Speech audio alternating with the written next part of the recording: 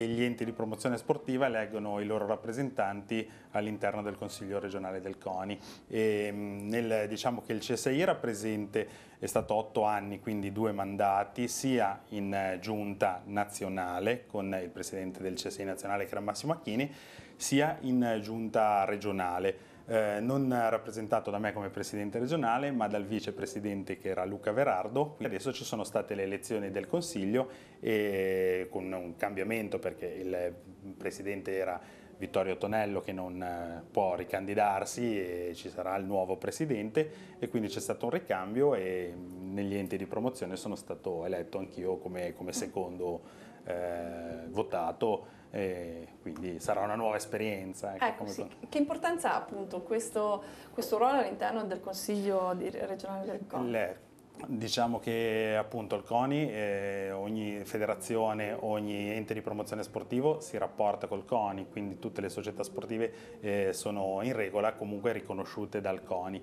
E, mh, mm, il Consiglio le, ha un ruolo più di, di, ratifica delle manifestazioni, diciamo un ruolo più operativo è quello della giunta perché è un ruolo più ristretto, il consiglio è molto allargato, quindi eh, stessa struttura posso ra rapportarmi nel CSI, cioè la presidenza del CSI è quella operativa, è quella che comunque dispone comunque le manifestazioni, le cose da fare, il consiglio è quello che le ratifica. Ecco.